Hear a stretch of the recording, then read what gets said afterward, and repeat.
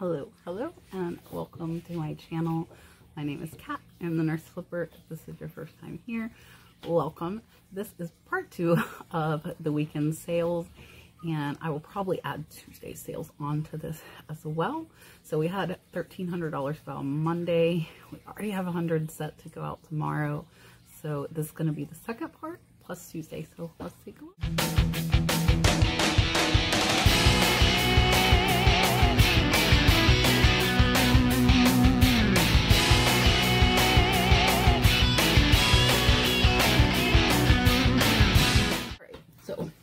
Up first, and I bought a, it wasn't a linen closet, but it was a closet full of stuff. This jewelry box was in it, and it kind of looks raggedy, but then I saw it is labeled Lady Buxton. So, show you some of the inside there. There's also, ah, drawers. It's not a hat, it's a jewelry box. Messing up my hair. And a closet lot. It was less than a dollar. I didn't pay much for the whole closet. The closet was supposed to have a $200 massage chair in it. Like a liner massage chair. Somehow mysteriously disappeared before we picked it up in the auction. But anyway, less than a dollar. And that jewelry box, Lady Buxton. So all I did was look up that name and that sold for $40 plus 40 in shipping. So $80 somebody is in. And that's not even like fancy looking to me. It's just like a plain black patent leather. It is pretty big, um, but it sold in less than a month. Next, these are some leather gloves. They are vintage. You can see the seven made in Italy. They are fur lined. They're pretty nice. So I only paid like 50 cents for these, except an offer of $6 because I've had them a little while. Figured why not? They are $10.95 all in. These are really easy to ship in low poly. This is a USS Harry Truman hat. I got this at a garage sale for a dollar and it sold in less than a month for $11 plus shipping the buyers $15.66 all in so about an $8 profit on more paintbrush so when you find lots of stuff that sells good it is great. These have been in the profit for over a year and it seems like they're never ending but we will eventually run out. So these sold for six dollars plus shipping. Buyers 11.85 all in and we will make about a four dollar profit with those. We have been shipping these in our tubes that we ship our pennants in. This has not been listed a week. I bought a lot of delft blue holland in an auction and the whole box was less than like 25 bucks. This three inch planner sold for $24.99 plus shipping buyers $40 all in. So this little planner pretty much paid for the lot and you're gonna see another piece sold as well. This is Philosophy Fresh Cream Warm Cashmere. This was from that same auction that I got last item at and this one sold for $20.99 plus shipping the buyer's $28.92 all in. I paid about five so this will be about a $13 profit after fees. There were quite a few makeup items in there and a couple have already sold for over $40 so a lot is in the profit. But individually i try and think of what i paid for each item even though the lot is in the profit but next this is a vintage spin shade. Keep an eye out for these because a lot of the patterns are worth more than this one was. This one I paid $3 for at a thrift store and it sold for $19.99 plus shipping the buyers $30.19 in.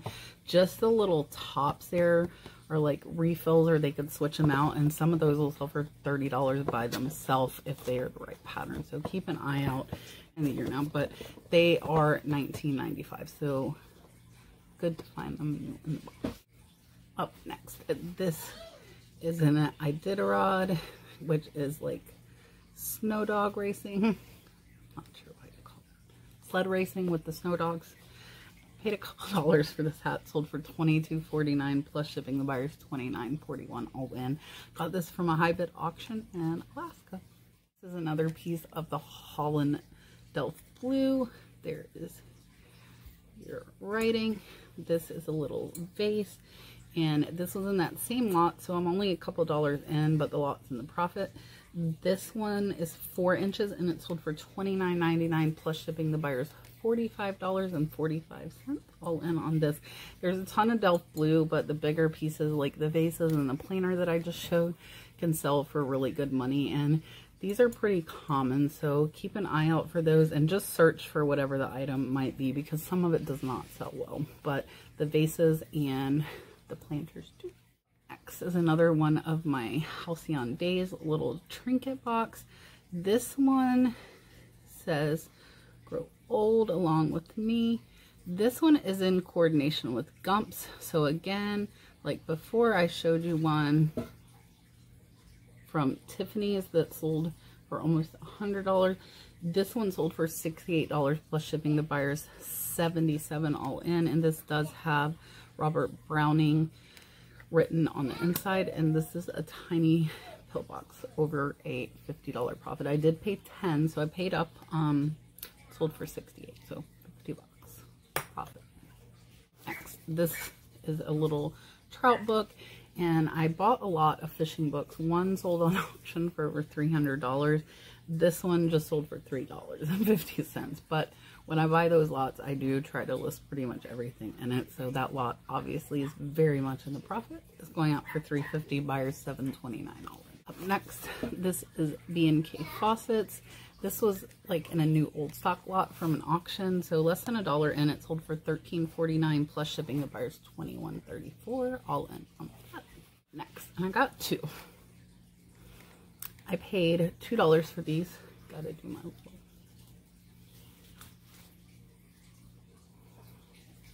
two dollars for these at the thrift store and one sold on Facebook for ten dollars plus shipping and the other one sold on eBay for $9.99 plus shipping. So about six to seven dollar profit on both, and these are really easy to ship.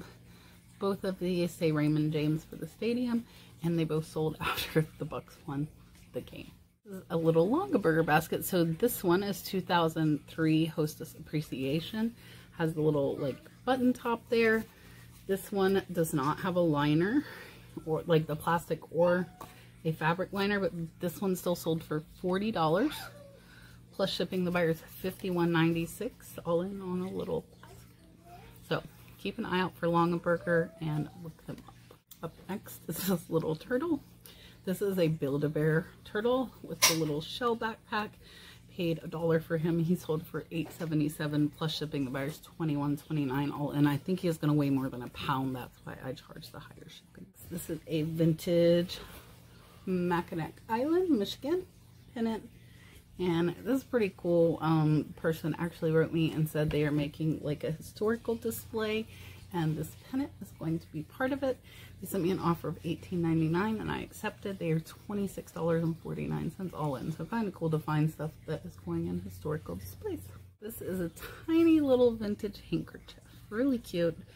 Paid less than a dollar and it sold for $6.50 plus shipping the buyer's 1045 all in. If you want easy to ship, easy list, vintage handkerchiefs and ephemera are two great items to do. And I will make about a $5 profit on that. This is a Montana Silversmith. If you don't know that name, watch out for buckles and belts. But these my friend Pepper had and we just traded them. So the buyer sent me an offer of $14 on this one, which I accepted because I'm not really much into it. She was $15.72 all in, and then I had to send offer to watchers pop up, and I assumed it was probably the same person for the black one. And she wrote me and said, if I accept your offer, will you combine shipping? I told her I would be glad to, and she is a little over $35 all in on the two. Now we will take a look what is going on on Tuesday. All right, guys, it is Tuesday now, and yesterday surprised me. Um, the sales have been great, which is awesome because the pretty new shed we have needs electricity installed, which will be about $500. Also needs flooring to the tune of about $1,200. And insulation and walls are going to be way more than both of those put together.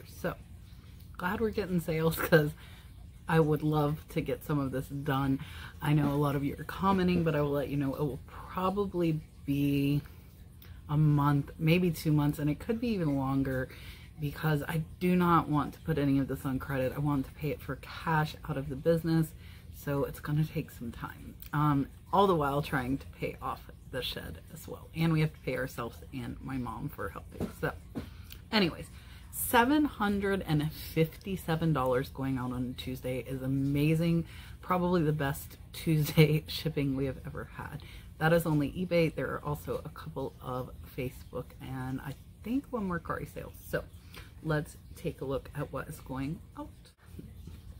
This is a wool blanket. Let me find the tag so you guys will know what to look for. So this is Churchill Weavers. And the cool thing is it says our best wishes from the governor of Kentucky. So I paid a couple bucks for this at a, I think at a thrift store. I can't remember thrift store garage sale. Sold for $38 plus shipping. The buyer is $53 all in. And this is a small lap blanket. It is only like 38 by 46. So it's really small and it will be over a $30 profit. Next, and these are almost sold out. I think I have two left and I bought like 12. So, and it hasn't even been a month. This is another Longaberger basket. So this is what they call a tie on. It's like an accent for the baskets. And then this lid has this cool leaf on it. So here again, Longaberger are marked. And this one had paperwork with it. So that's how I knew what it was.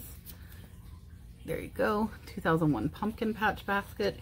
If if I did not know what it was, I would have looked on Google Lens to identify because you want to be able to identify these baskets um, in order to get the most money. So I paid $10 for this basket and it comes with the lid, no liner, and it sold for $38 plus shipping the buyers $52.01 all in. And that brings me to a point. I wrote this down yesterday. So our average sales price in January was $47. That is amazing.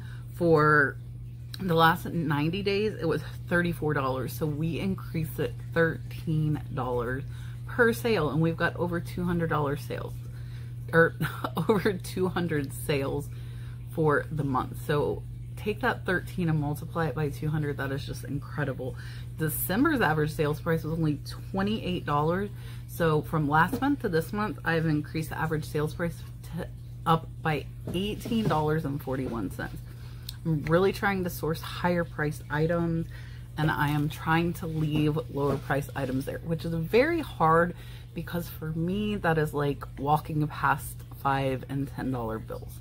However, if those items aren't really fast selling, I would rather have them be 40 and $50 items. So think I'm doing well with that and our average sales price is really up. So I'm super happy about that.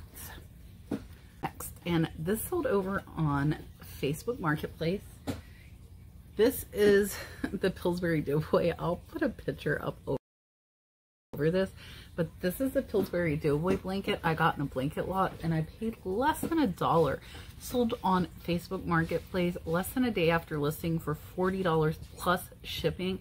That is going to be over $35 profit on a throw blanket. That is vintage from the 1990s, which does make a little bit of difference. And it's Pillsbury Doughboy next. And this was in my auction haul video. This bowl here, I bought the lot this was in for this. So if you see, this is Lenox and it says on it autumn. That's the pattern. And here it says autumn octagonal bowl large with 24 karat gold. So all I had to do, they, luckily this auction showed the bottom. I looked that up and knew this bowl was worth a ton of money. This sold in less than a week for $84.99. I am under $5 into this bowl. It's over a $70 profit. The buyer is $108.49 all in. So for all of my friends, yes you, that don't think you can ship breakables, for $70 profit in one item, I think you can figure it out. So this stuff is all over the place. People pass it by and there's a lot of money to be made in breakable items. This teeny little crock pot. Um, I paid a couple bucks for this at a thrift store and this sold over on Mercari for $15. So we'll make about $10 profit on this little guy. And I did test it and make sure that it worked. Up next. If you, I can't see. If you're new, this is the head to a CPR training mannequin. So I'm out of the mouse that go over this hole. And so they're not complete. Complete a set of five sells for over $200. So I have a bunch of those heads without the mouth and these chest pieces. This is what you push on to practice CPR. And I only originally had $40 into a ton of these. I have made over $2,000 on them. So I still have these parts left. I listed them on eBay as like a replacement chest piece and these three sold for $119. It is free shipping, but I think shipping only be about 20 So that's going to be close to an $80 profit after fees. So watch for CPR stuff. I have had a couple of my viewers tell me that they saw it out at garage sales, so you could see it as well. You've seen this before, and I messaged the buyer last time because this kit, let me find the paper. So this is the kit here. It says poppies. It is a Ram 2012, so it is not vintage. It's a tapestry pillow kit, and I sold this before for $200. And then when I opened it, my mom didn't tell me this, this is my mom. I noticed it was already started, which decreases the value. It's not finished, it's not new. And I've had it backlisted because the original buyer said, no, I don't want it since it's already started. And there's, you know, quite a bit of it is started. So somebody sent me an offer yesterday of $100.28. Not sure where their 28 cents went in, but I went ahead and accepted it. If they're new, they sell for 200 to $300. Some of them even higher. They are from the UK. I think that's why. So not as easy to find here in the US. Buyer is $118.40 all in on that. That was Dalton Mickey Mouse who randomly talks. I'm kind of freaky. Nobody's in here except for me right now. I got this at an auction. It is not marked. It does have this cork that I really don't think even fits it. I think it's just for looks. So I just put um, vintage handmade Mexican water jug and I do have another one of these. I have picked up a couple. So I had been getting inquiries over on Facebook Marketplace about this, but nobody purchased it. So this actually ended up selling at full price, which was $44.99 plus shipping. The buyer's $72.64 all in, and I paid $12. So about a $30, maybe a little bit less profit after fees on that jug, and it's not marked. You have to kind of I think get a little more confident with the breakables before you can really push listing the items that are not marked because after listing so many, I kind of know really good keywords that'll get my items found and help them to sell. So your keywords are key with unlisted items. You want to think of anything that that person might search for if they're looking for your item. Next, and I will give a shout out to Kevin Commonwealth Picker on this one. This is a copper pan. It is, I don't know if I can get it where you can see it. It is a Revereware. I can kind of see it there. And it has the brass handle. This is only a two quart pan. I paid $4.99 for this at my little local thrift store two days ago. It sold for $50 plus shipping and buyers 65 all in. That is over a $40 profit in less than a day. As my friend Kayla, the homeschooling picker, likes to say, don't miss, don't miss the pots and pan section. There's tons of money to be found. You can tell picking up pans, obviously you can see copper pans, but picking them up, you will be able to tell which are heavier and better made, and then you can look for the name brand and comp them out is another little Longaberger basket. So this one I put heart. This one does have the tag 2005 Hostess Appreciation and has the little heart tie on, has the lid, and this one does have the liner, both plastic and fabric. So this one sold for $29 plus shipping. The buyer's $39.78 all in. Did pay $10. Again, I would pay up for some of these because they sell good and they sell fast. And this will be probably about a $15 profit for us after fees. And not easy, or not easy, it's not hard to ship either. Up next, and there are two of these, and one sold on Facebook within a day, the other sold on eBay within two days.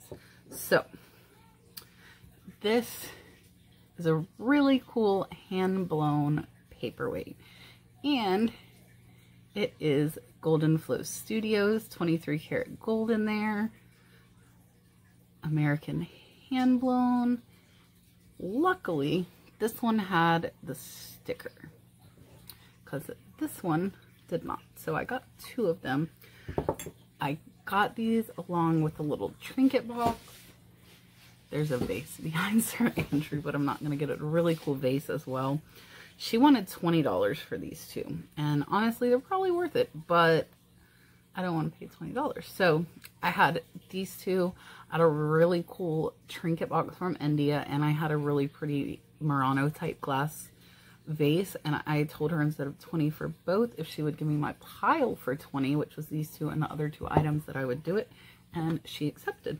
So the one that is not branded sold on eBay for 17 49 so i would say i'm probably about five dollars into each of these. So about a ten dollar profit. And the one that is branded sold for twenty dollars plus shipping on facebook. So that one is about a twelve dollar profit. So both of them sold in less than two days. Really good. Unique paperweights and some this one's cool because it's hand blown of course it has gold but um some paperweights are signed on the bottom and can be worth hundreds of dollars. So you see unique paperweights, I would check those out. This is a cute little brass trinket box with the jewels. I paid only a couple dollars for this. It was in a trinket box lot and it does open up there. And I did show the condition of this, but some people like that kind of weathered look, so I did not mess with it. Sold for $15 plus shipping the buyers 20 all in, and that took about eight months this is a little mop head. And this was in a linen closet I bought in an online estate auction. I bought the whole linen closet. It was in there sealed. Pennies into that. It sold for $12.49 plus shipping buyers $19.18 all in. So that will be about a $10 profit. Next. This is a Monster High doll. And I paid a dollar for her. Her hair is like a hot mess. I don't bother with fixing their hair if they're only going to sell for like 10 bucks because it's not worth my time. So that is exactly what this one sold for, $10 plus shipping. It took about six months. I got her for a dollar at the flea market and I used Google Lens to identify who she was. So always pick up Monster High dolls if you can get them for like a dollar or two because they're typically pretty good sellers. This, this scarf. It's an infinity scarf. So if you see circle scarves like this, it can be worn not putting it on or like that and I have less than a dollar into that. It sold for $12.49 plus shipping buyers $16.69 all in and that took about six months to sell. This is a little book. I got this at a yard sale in a stack. I'm less than 50 cents and I listed everything. Some of it was worth more, some was worth less. This is one of the ones that was worth less. Sold for $4.50 plus shipping buyers $10 all in. Some of you might wonder why I show this, and if you've been watching me a while, you know I do make videos only showing the higher price stuff, if that's all you're interested in. But my reality as a reseller is that I list these lower items, and they add up. Um, I do not think it's below me to list five and ten dollar items if they're in lots. I am trying not to handpick them individually, but if I buy a big lot of items for one expensive one, I'm still going to list those lower cost items because they add up. This is a Craft World book. Again, this is the same thing, pennies in. It's got this little dog, and it says book one crafty goes around the world. Another $4.50 sale, plus shipping buyers 907 all in. So again, $757 going out on a Tuesday, which is amazing. We did over 650 yesterday. We're almost up to 200 today. And sales have been amazing. And I'm so happy because the shed stuff is going to add up. So you guys will see a couple of clips of the shed coming up after this. Don't forget the members only live is coming up on Monday. So if you're not yet a member, hit that join button, check it out. And I hope to see you guys on Monday on the members only live. I hope you have a great weekend. I appreciate you watching. Let's look at the shed. All right, guys. So for today's update, the shed is now, let's pull this out, in place. Um, it is a little closer to the house than I wanted it. Um, but it's where it is.